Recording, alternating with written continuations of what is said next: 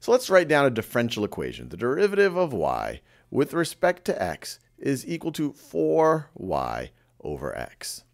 And what we'll see in this video is the solution to a differential equation isn't a value or a set of values, it's a function or a set of functions.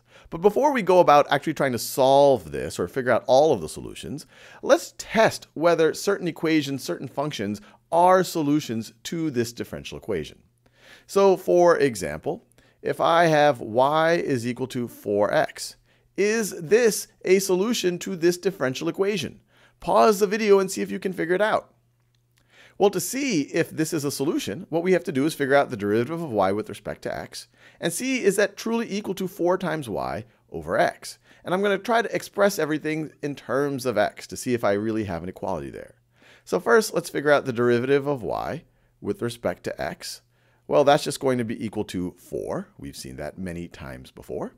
And so what we need to test is, is 4 the derivative of y with respect to x equal to 4 times, I could write y, but instead of y, let's write 4x. I'm going to put everything in terms of x. So y is equal to 4x. So instead of 4y, I could write 4 times 4x.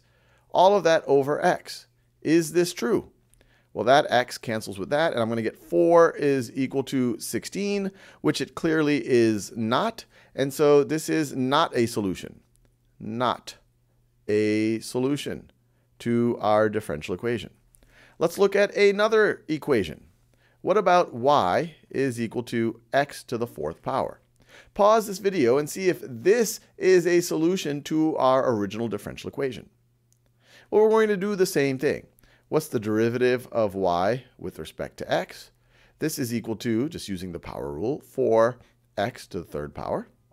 And so what we have to test is, is 4x to the third power that's the derivative of y with respect to x, equal to 4 times y. Instead of writing a y, I'm going to write it all in terms of x. So is that equal to 4 times x to the fourth, because x to the fourth is the same thing as y, divided by x. And so let's see, x to the fourth divided by x, that is going to be x to the third. And so you will indeed get 4x to the third is equal to 4x to the third. So check. This is a solution. So is a solution. It's not necessarily the only solution, but it is a solution to that differential equation. Let's look at another differential equation. Let's say that I had, and I'm going to write it with different notation, f prime of x is equal to f of x minus x. And the first function that I want to test, let's say I have f of x is equal to 2x. Is this a solution to this differential equation? pause the video again and see if you can figure it out. Well, to figure that out, you have to say, well, what is f prime of x? f prime of x is just going to be equal to 2. And then test the equality. Is 2, is f prime of x equal to f of x, which is 2x, minus x, minus x. And so let's see, we are going to get 2 is equal to x. So you might be tempted to say, oh, hey, I just solved for x or something like that. But this would tell you that this is not a solution because this needs to be true for any x that is in the domain of this function. And so this is, I'll just put an x there, or I'll put a, incorrect there to say not, not a, not a solution. Just to be clear again, this needs, in order for a function to be a solution of this differential equation, it needs to work for any x that you can put into the function. Let's look at another one.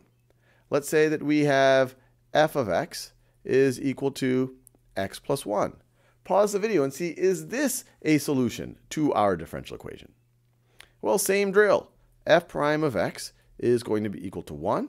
And so we have to see, is f prime of x, which is equal to 1, is it equal to f of x, which is x plus 1, x plus 1, minus x?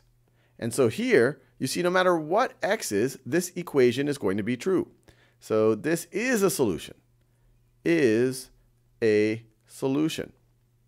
Let's do a few more of these. Let me scroll down a little bit so I have a little bit more a little bit more space, but make sure we see our original differential equation.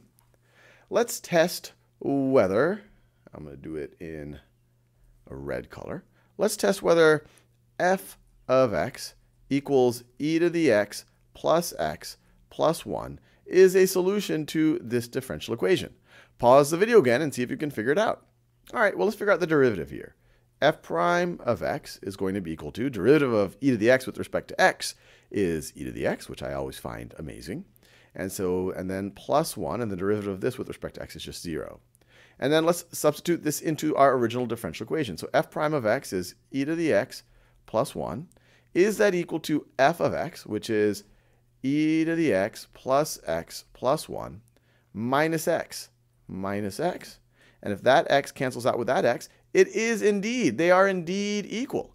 So this is also a solution. So this, this is a solution. And we're done.